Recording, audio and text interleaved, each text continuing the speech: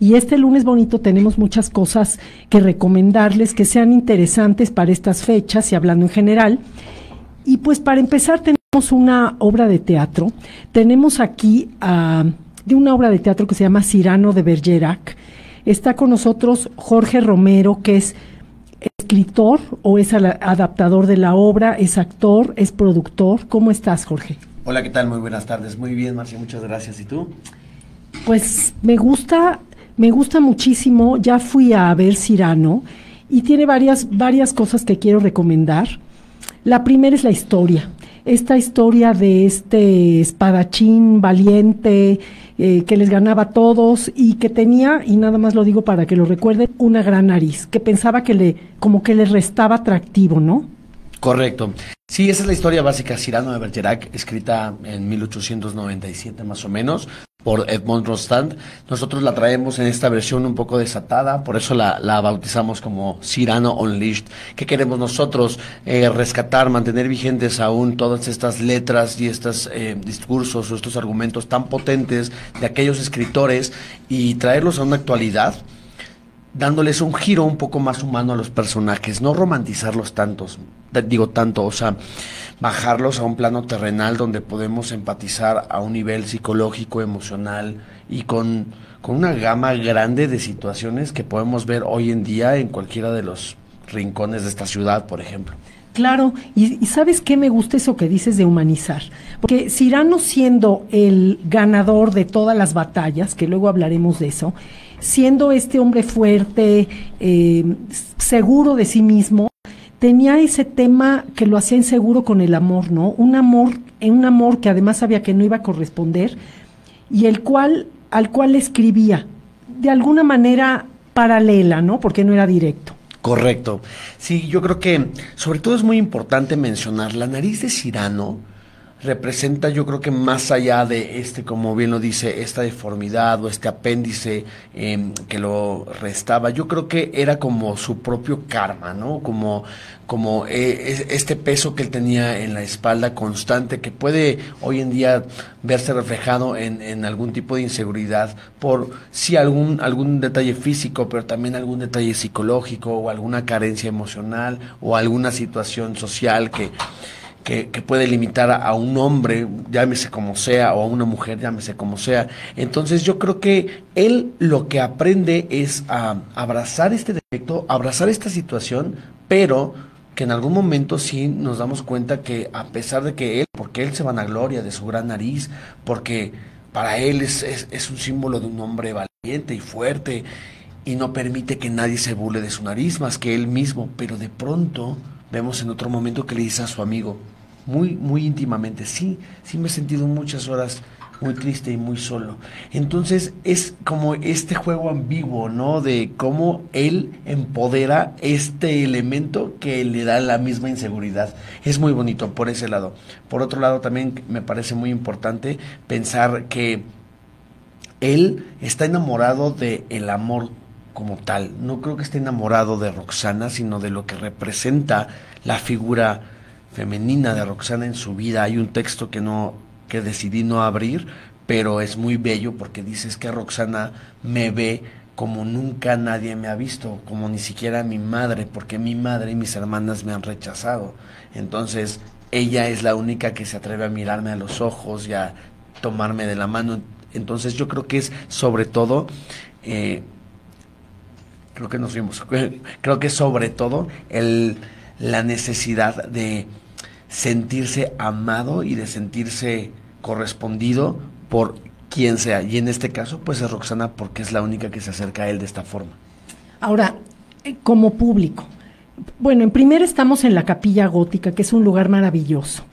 Este lugar lo adaptaron, hicieron pues digamos, ¿a cuántos metros estamos de, de, los actores y toda la actuación? A pocos metros, porque hicieron, de, bueno, paralelas las bancas. De hecho, cuando yo fui, pusieron tres filas de tanta gente que había. Y esto nos da la gran oportunidad de ver este juego de, del esgrima. A ver, cuéntame cómo montaron todo esto. Sí, justo la disposición de la, del escenario y de la butaquería es a dos frentes. Esto nos permite tener una experiencia un poco más inmersiva. La intención es que la gente sea parte de la historia, como la corte o como, pues, pues en cada escena creo que se puede determinar, ¿no? Como son partícipes. Eh, la esgrima, eso es muy, es muy bonito, es, es bello. Yo llevo batallando alrededor de 14 años y el que es el capitán en la obra, él estuvo conmigo en, algunos proyectos, él fue mi maestro en la carrera y él también es un gran espadachín y yo le encargué al, muy al inicio que él entrenara a los cadetes. Entonces verdaderamente el capitán entrenó a los cadetes y ya después eh, creamos las, los combates, las coreografías, yo lo, lo fui como ideando y ya después llegó un punto en que les dije, por ejemplo, para la guerra, ahí tienen sus parejas, hagan combos de 10. Ya de lo que saben ustedes, hagan sus propios combos. Entonces es una creación colectiva. Yo creo que lo más interesante es pensar que sí, como tal, se entrena todos, todas las semanas, dos a tres veces por semana, entrenamos sables para que todos estemos en la condición necesaria y con, ahora sí que con la estética y con, el, con la potencia necesaria para combatir todos juntos. Claro, porque es un ejercicio bastante fuerte. Eh, los cuando digamos rompen las espadas se oyen unos ruidos fuertes, o sea, pegan duro. Y además no nada más eso, se mueven, hacen algunas piruetas en el piso. Es decir, es un espectáculo de veras muy completo. Justo, lo que nos interesa también mucho es que la gente se quite esta idea que el teatro clásico es cansado, es pesado. Claro, son obras largas, si, si contemplamos que una obra completa de, de, teatro clásico dura cuatro horas y que esta la estamos reduciendo o condensando a dos horas y media, pues ya no se siente, ya no se piensa tan larga, pero es larga, dos horas cuarenta dura con un intermedio de diez minutos, pero creo que se va como agua porque la intención, insisto, es sumarle espectacularidad. Esta espectacularidad con una buena dirección, con buenas actuaciones, creo que hace que se diluya tanto Em, la pesadez del texto, la pesadez de las escenas, al grado que la gente lo termina disfrutando. Y es muy importante para nosotros que la gente se acerque al teatro clásico, sobre todo la gente joven, el público joven, nos interesa mucho que los jóvenes vengan al teatro, vengan al teatro clásico, que no se vacunen, que no vayan a ver cualquier cosa y digan, ay, esto es teatro, mejor me gasto este dinero en el cine o, o, en, o en una fiesta o en... ¿Me explico? Queremos que se acerque al teatro. Claro, y además ustedes la tienen montada de manera que los actores y las escenas transcurren por diferentes lados. Uno de los lados por donde vemos que entran y salen es donde están los arcos, ¿no? El escenario principal. Luego tienen una entrada lateral que me supongo que son lo, donde está el vestuario de ustedes, ¿no? Donde son sus camerinos. Y la entrada principal. Esto nos da al público la vista hasta del su vestuario de cerca, que es maravilloso. Sí, es muy importante contar eh, con los detalles necesarios para que la magia suceda. Como justamente es una experiencia inmersiva, como la gente está, como bien lo dices, a pie del escenario, cualquier detalle se ve. Por eso mismo, por ejemplo, con la cuestión de la nariz, la nariz cuidamos mucho que el prostético se vea bien pegado, eh, que, tomamos un, taller con el maestro Carlos Guizar de cómo portar el vestuario. No es nada más decir, esto, eh, la textura del vestuario se ve bonita. No, hay que saber portarlo. ¿Dónde, a qué altura va el cinturón? No es lo mismo, me explico. Las chicas, qué pestañas sí, qué pestañas no, qué peinados sí, qué peinados no. Entonces, es muy importante que la estética esté muy cuidada. Porque justo la capilla gótica del Instituto Cultural Helénico ya nos regala una estética real de 1400 con lienzos de 1600 con estos arcos bellísimos. Entonces si ya tenemos esa parte como escenográfica, no debemos demeritarlo con la parte del vestuario. Y la iluminación, pues nada, se hizo un diseño para que justamente dentro de la dirección eh, yo lo que ideé fue que, que la iluminación jugara más bien como el ambiente de cada escena y las entradas y salidas es lo que determina la dirección de la escena, me refiero el, el cauce y me refiero como a la, la perspectiva, sí. ¿A qué me refiero? En un momento los arcos son el escenario del Teatro de Borgoña, pero después la chimenea se vuelve la mesa de la panadería y luego los arcos otra vez se vuelve el balcón de Roxana. Entonces, lo que queremos es jugar con los espacios. Sí, sería, yo creo que hasta injusto nombrar a algunos de los actores y otros no, porque creo que son como 20 o 25 en escena, ¿no? Yo sé que ustedes, eh, uno de los carteles fuertes que tienen pues, es Paco de la O. Correcto. Eh, pero los demás son excelentes y sería difícil no nombrarlos. Pero a ver, dime cuántos son, porque hay momentos en los que están todos y son muchísimos. Sí, somos 22 actores en escena, más dos músicos en vivo, una guitarra y un violín. Y sí, justo, yo no quiero dejar a nadie fuera, todos son grandísimos artistas a los cuales agradezco mucho, quiero mucho, los, los llevo en mi corazón y con los que he aprendido a hermanar. Uno de ellos, Paco de la O. Paco de la O, eh, yo lo conozco de una forma muy extraña. Otra, otra producción está ahí coexistiendo con nosotros. Acaban de terminar ellos, de hecho, la semana pasada. Sí, la de París, ¿no? París, exactamente. Y yo lo conozco porque a mí me, me avisa Esmeralda de los Reyes. Me dice, oye, van a estar como cohabitando. Entonces yo dije, va a ser un rollo si ellos meten su audio y su iluminación un día y, y lo tienen que quitar y meter nosotros dos días y quitar para que ellos entren a la semana que entra. Entonces fui a hablar con la producción de París y les dije, ¿qué les parece si levantamos nosotros el audio y la iluminación? Para que pues, se quede ahí para las dos producciones. Nada más ustedes consigan su operador y... Ah, sí, perfecto. Y entonces, hablando como, y les podemos prestar esto, y ustedes nos pueden prestar esto. Y Paco se impresionó, porque dijo, incluso mencionó, esto me recuerda cuando yo estaba estudiando.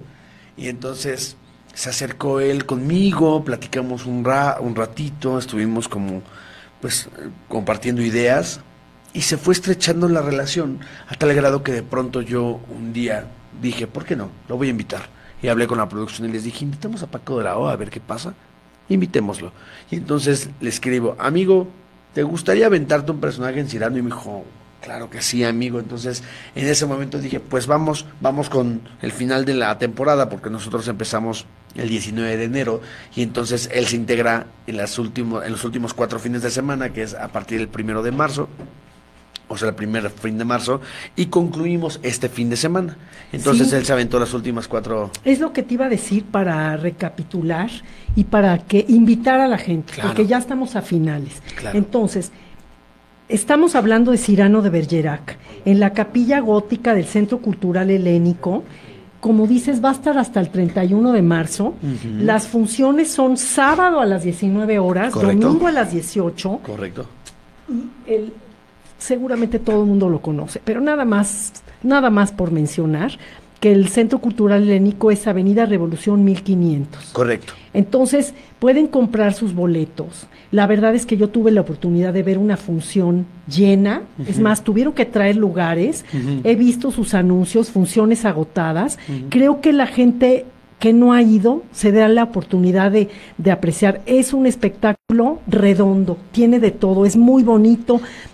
Tuve oportunidad de ver jóvenes, señoras mayores, o sea, la abuelita que llevaba a los niños, las parejas jóvenes, y la verdad todos salimos contentos. Correcto. Sí, yo también creo que es, es una obra familiar 100%. Todo público la va, la va a agradecer, la va a admirar, la va, la va a disfrutar. Y también me parece importante mencionar, este es el último fin de semana, con esto cerramos esta temporada. Vayan, vengan al teatro, aprovechemos que estamos en vacaciones, aprovechemos que este fin de semana, pues nada, Semana Santa se atraviesa, gocemos de, del teatro y sobre todo del, del teatro mexicano, busquemos enaltecer el producto mexicano, así como enaltecemos otros productos. Esto yo les aseguro que no por no ser una producción, digamos, de pues de muchos millones de pesos, demerita, todo lo contrario. En verdad que a nivel histriónico estamos eh, haciendo cosas bastante interesantes y nos complace mucho invitar a la gente una vez más. Sábado, 7 de la noche, domingos, 6 de la tarde. Y quería nada más mencionar algo. Es, eh, es parte del instituto, el centro es el teatro. El Instituto Cultural Helénico es donde está la capilla gótica. Ok, ok porque son, son, digamos, como eh, dos entes en el mismo predio, pero el centro es el teatro que maneja el gobierno y el instituto lo, administra, lo, administran otras personas. Ah, muy bien, muy bien. Pues Jorge Romero, te agradezco que hayas estado aquí y vamos a seguir este insistiendo que la gente vaya al teatro. Seguro Sobre sí. todo a cosas que sean realmente interesantes como Cirano de Bergerac. Correcto, sí, esa es la intención. Te agradezco muchísimo. Gracias a ti, Marcia, en verdad. Pues ya fuimos al teatro.